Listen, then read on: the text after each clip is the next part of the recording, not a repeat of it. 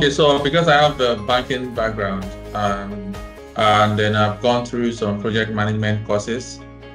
So I just I thought I should delve into project finance as well. I've been uh, I never knew much about project finance. I thought, as the name implies, you know, having studied project management from the initiation, you know, planning, and then you know, execution and closeout. But the key thing now is project project finance. So, um, so I just thought let me let me try and then know more about um, project finance. Uh, it's been mind blowing. Yes, I would say yes. Affirmative. It's been uh, above my expectation. I mean, I have to do a lot of catching up. Uh, you know, it's completely different field. Uh, I know the basics, but you know, it's something that I also need to uh, to learn more. Uh, probably, if you guys have advanced classes, then I have to take up the advanced classes. So, uh, so early this year, uh, we wanted to embark on a project in Guinea, and then I we thought it was basically, uh, for me, I personally thought was basic uh, project management would I would apply there.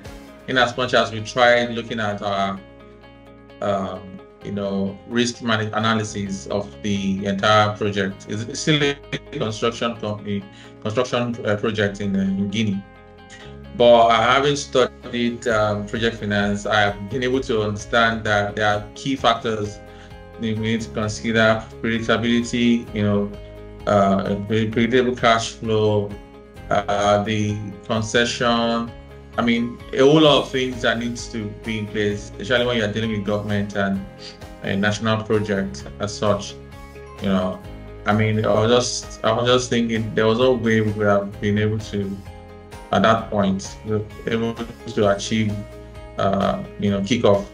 And also uh, learning from uh, Dangote's story in a, in a video that was shared and a brief uh, review of the of his interview. Um, I mean, it was mind blowing that he had to start the planning from I think from 2018 or there, but it took him over six years to even do the planning, uh, which is very very important. And at the end of the day, he was still corporate finance indeed, as against the project finance, the rigors of documentation and a whole lot of you know. I was able to I was introduced to IFC, uh, International Finance uh, Corporation and the whole host of every other all other uh, you know, stakeholders and uh, you know developmental fund, uh, finance institutions, and all that. There were new things for me. I've been looking at you know, getting to know more about this, and that, everything was really uh, brought out in clear terms for me. and I'm really grateful. Okay, so it's very important. Go for you have to study before the time, before the live sessions. I mean, for, for you to be able to catch up. One of the things you guys did was to have advanced this uh, the uh, um, the manual or the the readable uh, courses. I, I want to get the exact time you guys uh, labeled it, uh, whereby you have to read ahead of time.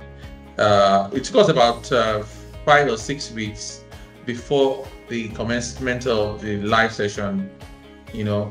So make sure you study very well before the live session so that everything is made easy.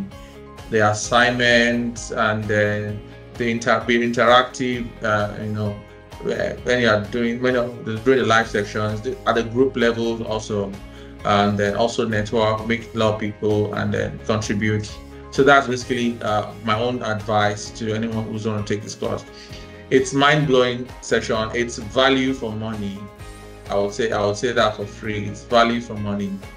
Uh, I'm still catching up. I, I, know I still have like three months to uh, go still go through the materials. I have to go through over and over again until actually I imbibe everything that has been said and, and thought in the course. Thank you very much, guys, for the opportunity.